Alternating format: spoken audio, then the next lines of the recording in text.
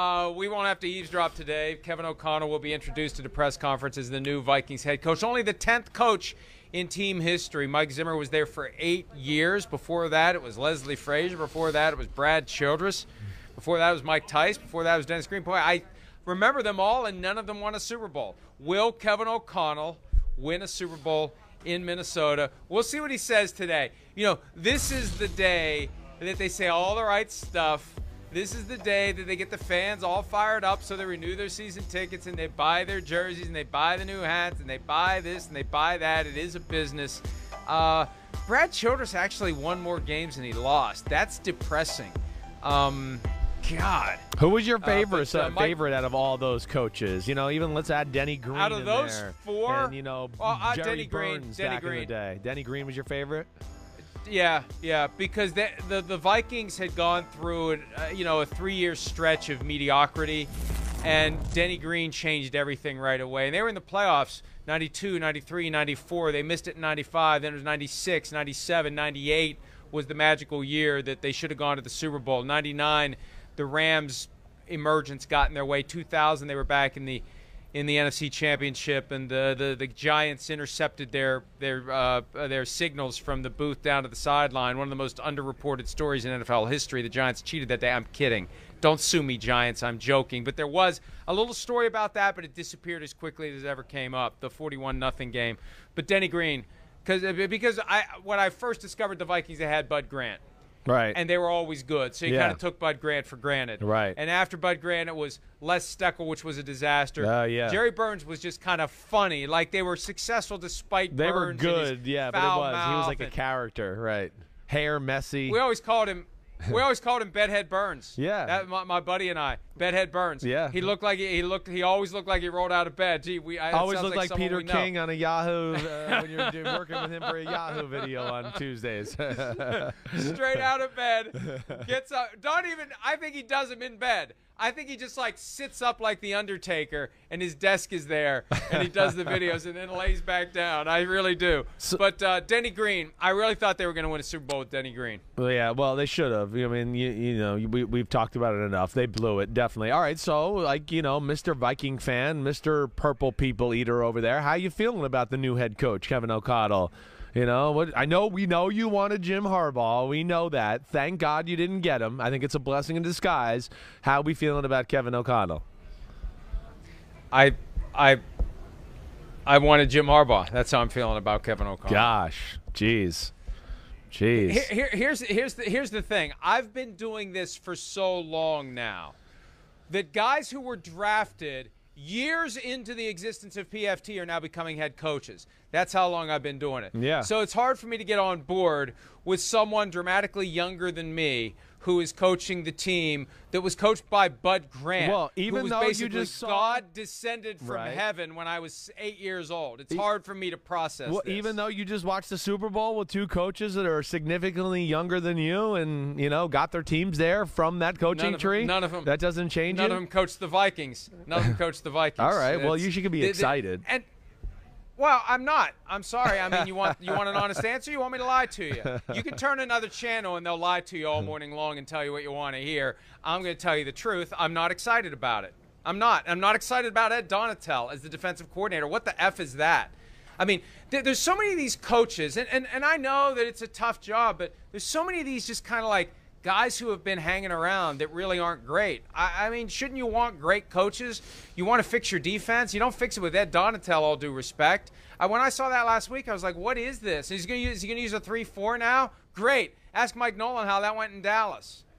Uh, Well, uh, listen, I, I I hear you. You know, I do think Ed Donatell, you know, has been around some pretty good defensive minds the last few years, to where uh, I understand maybe some of the other stops weren't, you know, great or sexy. But I think he's grown his knowledge. I can get behind that and support that. I can. You know, whether that's, you know, in Denver with Vic Fangio and company, right? He was with the Bears and, and that, you know, Fangio there and that group. And, you know, even Brandon Staley was a part of that group. So I got to think he's gotten better on that side of the ball. Yes, you know, again, it does come down to relationships and knowing people to a degree. You know, I think there is some connections between Ed, Ed Donatell and that coaching staff. So that's there. Yeah, you want to have a guy that you know you feel comfortable. I think it's a young head coach in Kevin O'Connell. He'd like to have a guy that's been there and done that a little bit on the defensive side of the ball, so he doesn't, you know, have too much on his plate that way. I, I don't I don't look at it and think, oh man, that's a dumb hire. I don't. I understand you not being excited but but I can get behind Ed Donatell, and I can certainly get behind Kevin O'Connell. Again, we're going to see what he's made of. It's hard to know right now, like we've talked about a little bit last week at the Super Bowl. He's never really even called plays in the NFL, you know. So that's that's something we got to see. He's still a beginner in that aspect, but he's been behind people who are really good at calling plays in the NFL too, and he's been able to learn, you know, let alone see how a culture's built and all the other things that go along with it. And I think O'Connell has that type of personality to where he can get a good culture together there in Minnesota like McVay as well. You know, again, it just he rubbed me he rubbed me the right way being around him a few times to where Mike, you know, again, not that I'm always right, but I at least went walked away and went that guy's got you know head coach in him the way he can command a room talk to people do that and those are one of the you know the first few things i look at for potential head coaches I just know when Sean McVay got the job with the Rams, there was a buzz, and maybe it's because Yeah. he was so damn young. There was a buzz and an expectation from the moment he walked through the door, Right. That this guy was going to be great, right And uh, there's no. I'm sorry, the buzz isn't there. Maybe it's because they flirted with Jim Harbaugh as aggressively as they did. That the buzz went his way. That that was the guy with the name. And I just feel like Kevin O'Connell is the latest iteration of the offensive coordinator of Super Bowl champion. There's always going to be one that's the hot guy, and how many of those guys Unless end up Bieniemy, being being eight and nine, right? Exactly. End up being eight and nine, and ultimately getting fired after five, four or five years. I, I just, I, it's it's a predictable, safe, formulaic selection. It's not fortune favors the brave. It's not just a, a tagline to sell a, a pyramid scam. It's it's real when it comes. It gets back to what we were talking about last segment.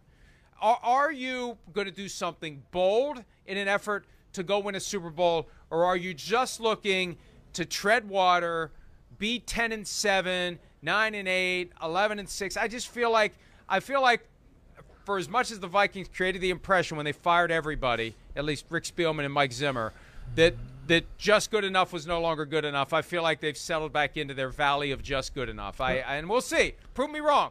Prove me wrong. Kevin O'Connell, Well- I'm sorry. I know this is a bad first impression, but prove me wrong. I'm, Well, I, I, I'm not know, gonna I'm not gonna lie yeah. about my honest opinion. That's my honest opinion. I, I, I hear you. That's that's fine, and I understand the questions. And hey, it's uh, the questions are real too. You know, again, like we talked about last week too. The optics look weird. A guy that got a head coach that hasn't called plays, and to your point, Byron Leftwich and Eric Bieniemy don't get a job. Doesn't look right, certainly, but doesn't mean he's not qualified for it. And hey, I can also understand owners want to go with this route. I mean, again, we're sitting here in a in a league right now where, you know, the the, the final four in the NFL had three guys from this coaching tree. So that's it's hard to not see that. Zac Taylor, Matt Laf- I mean, no, not even Matt LaFleur. So I mean, you had you had you had four in the final eight, but you had you know you had McVay, Shanahan, Zac Taylor, and then of course you had LaFleur, who led the number one seed in the NFC. They all know each other, and Kevin O'Connell's from that. So I'm, I'm not going to fall, you know, from falling into that trap right there with Kevin O'Connell. I can understand that. I can I can get behind that that that aspect of it, and I think that's what they're looking at. They're hoping they get, you know, a magical guy just like those guys are, where they can turn their team around in a hurry and make them a contender. So um, I, I do get the the thought process there from the Wilf family. Okay. My my point though, when they didn't hire Harbaugh was there's always going to be that guy. If it doesn't work out with Harbaugh, you're going to have that guy. There's always going to be the next guy in the McVay tree, the Shanahan tree. That guy's going to be there, and you can do that then after you after you roll the dice with the guy who took a six and 10 49ers team with the benefit of no offseason program to the brink of the Super Bowl in his first year on the job. I, I that, and I know and I know that was ten years ago, and the game has changed, and his offense sucks. I know all that. It sucks. But, I mean, uh, that team was a Super Bowl yeah. team, and he couldn't win a Super Bowl. That's the first thing I want to say. I would say they are clearly the most talented team in football for like four years. Clearly. You can talk to anybody in the sport. That's where I just I won't get behind John Har- Jim Harbaugh the way you will. I definitely won't. I know I got personal issues with him, but I even thought before the personal issues he was overrated as a coach. His offenses stuck at stunk at Stanford. They stink at Michigan.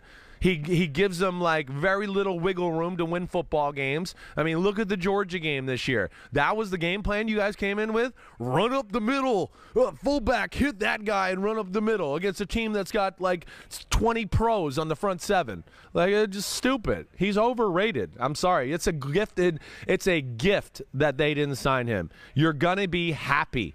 You're going to be happy. And you would have been more mad if Kevin O'Connell went somewhere else and became this guy that, you know, you're hoping he becomes. And if they went Harbaugh, you'd have been sitting here going, well, they could have got Kevin O'Connell, but they went with Harbaugh. You'd be saying that three years from now when Harbaugh would go, I think I'm going to leave here and get the hell out of here because I've pissed off everybody in the organization and everybody hates me now and I can't work with anybody. So I'm going to go back to Michigan and do that. But so I, you know, you know me, I can't get behind Jim Harbaugh with anything.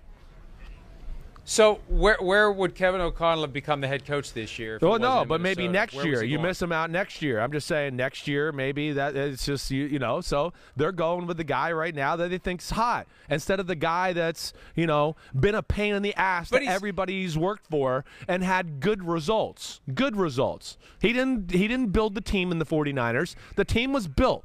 You know, they had a crappy coach before that. He came into a right situation. He got them on the right track, no doubt about that. But he wasn't signing the free agents or doing anything like that. You know, that's where I still get mad at like the Trent Baalke talk. That team was phenomenal. And yeah, he every if there's a big game, Jim's gonna lose it. We've proved that's been proven. How can you get not be behind that?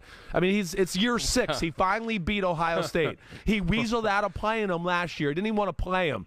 That's what you want? The guy that's like afraid to compete? I don't even want to play them, so it doesn't go on my record.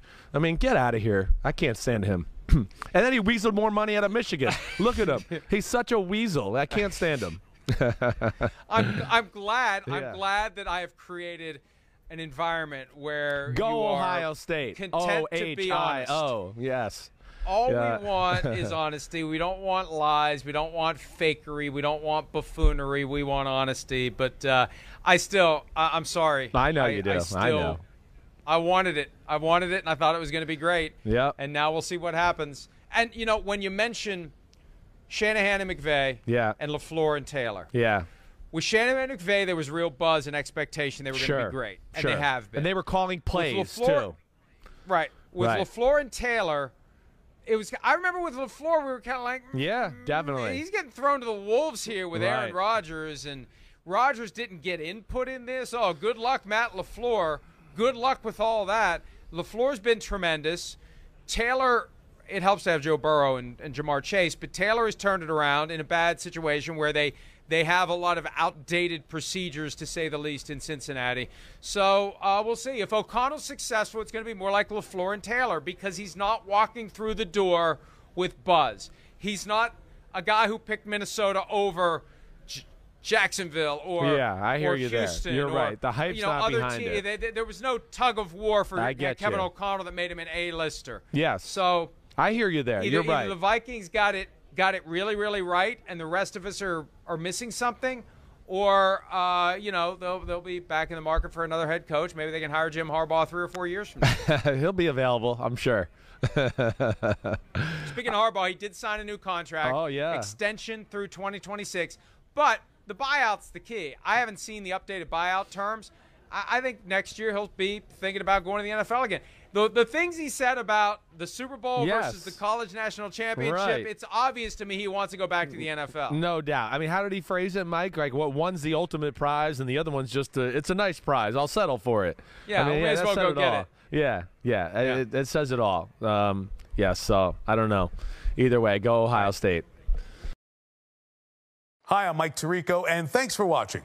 Make sure to hit subscribe for the latest news and highlights from NBC Sports.